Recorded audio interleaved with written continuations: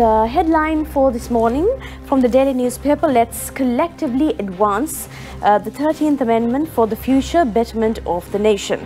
President Ranil Wickremesinghe noted that once discussions have been held and consensus reached regarding the proposed increase in the number of female members in provincial councils, measures will be taken to conduct provincial council elections.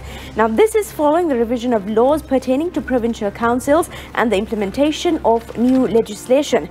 And uh, should Parliament endorsed the amending Provincial Council Voting Act, which includes voting based on the district proportional system that allows members of Parliament the right to contest in provincial councils with a minimum of 25% female representation, the President said.